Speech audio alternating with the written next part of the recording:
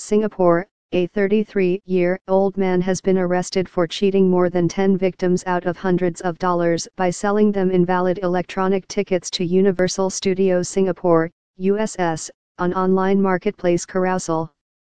The Straits Times understands that more than 10 people fell prey to the scam. MS Linda Low, who fell victim to the scam in April this year, told the Straits Times on Friday, December 22, that she had bought two e-tickets for $100 that were advertised as discounted on Carousell. However, when she arrived at USS, the person at the counter told her that the tickets were invalid. I messaged the seller and he said he will resend me the e-tickets, but his last message was okay and he didn't reply after that, said MS Low, a 28-year-old accountant. She went to a police station immediately to report the matter. Just one month after she was scammed, two other women fell prey to the same culprit. MS Ng Chi, who is in her 30s, told ST that she bought a discounted e-ticket for about $45 to $50 on Carousell. MS Linda Low bought two e-tickets to USS for $100 on Carousell in April this year, only to find out at the counter that they were invalid.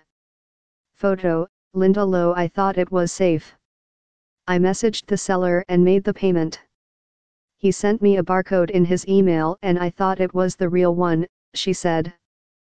However, when she visited USS the next day, the counter staff told her the ticket was not valid. She tried messaging the seller but got no reply, and found out later that Carousell had suspended his account. She, too, made a police report.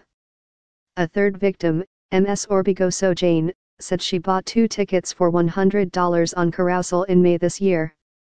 The 29-year-old property officer said the photo of the ticket she was sent was blur, so she asked the seller to send her another shot.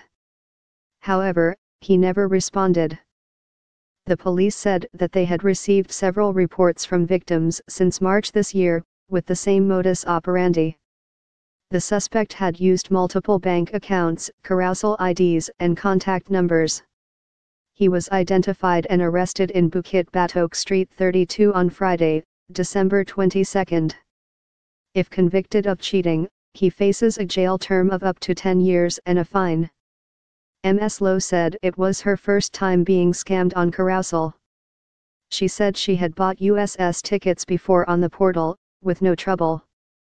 This didn't put me off buying from online websites but I will be more cautious next time and look at the comments, she said.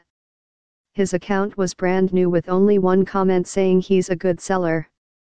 That day, I was too desperate to find a ticket so I just went ahead and transferred him the money.